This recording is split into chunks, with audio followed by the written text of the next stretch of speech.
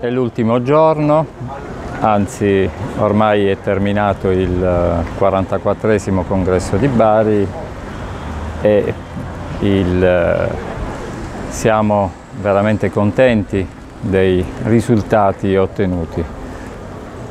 Abbiamo avuto un notevole, un notevole numero di partecipanti, quasi 1200 sono stati gli iscritti, 60 espositori e devo dire che eh, per quanto riguarda le relazioni abbiamo avuto eh, non solo nella prima giornata, nella seconda e nella giornata di questa mattina, del mercoledì mattina, abbiamo avuto delle relazioni che hanno suscitato un vivo interesse eh, eh, nei partecipanti. C'era un grande, soprattutto nella prima giornata, la sala plenaria era stra, stracolma di eh, iscritti alla, eh, al congresso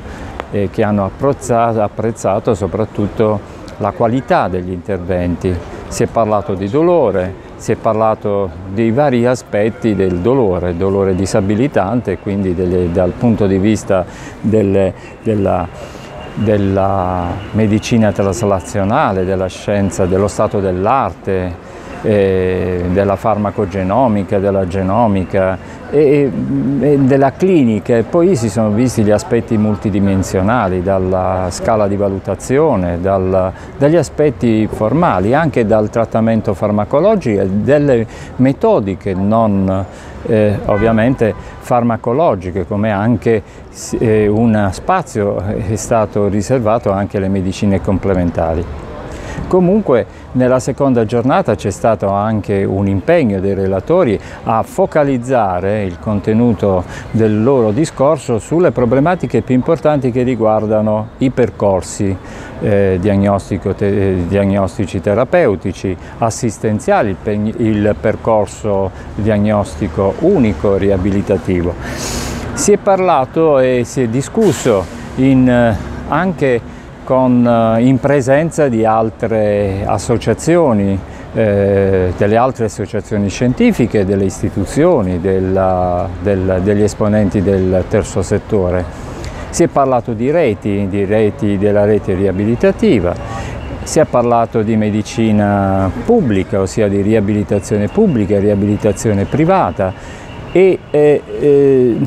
nelle ultime, nel pomeriggio di ieri e nella mattina di, di oggi si è parlato ovviamente delle grandi evoluzioni tecnologiche,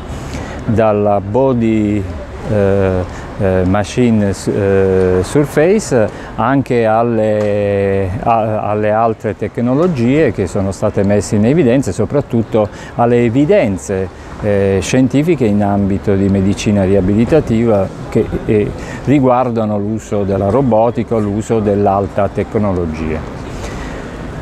Il, la revisione Cochrane, la revisione della letteratura, l'evidenza scientifica alcune, eh, per quanto riguarda alcune tecniche innovative eh, tecnologicamente avanzate sono state riportate eh, in una relazione che ha eh, ovviamente destato l'interesse di tutti i partecipanti. Concludo con eh, l'augurio che questo congresso, 44 congresso, e vedete la giornata di oggi, eh, qua si sta, sta, a testimoniare come ci sia a Bari certo, un certo dispiacere a, così, a, a, chiudere questo congresso così improvvisamente. Siamo stati accolti dal sole e adesso ce ne andiamo con le nubi e soprattutto con la nebbia di stamattina. E, e io auguro veramente che tutta questa partecipazione, tutto questo eh, eh, successo, se permettete, è anche che è dovuto anche alla partecipazione dell'ufficio di presidenza del gruppo eh, regionale pugliese. Sia un, il punto di partenza per poi avere a Genova un congresso migliore. E io do veramente tanti auguri ai colleghi di Genova, ai, ai, a tutto il gruppo della Liguria eh, che ovviamente possa, eh, possa organizzare un congresso anche migliore di questo.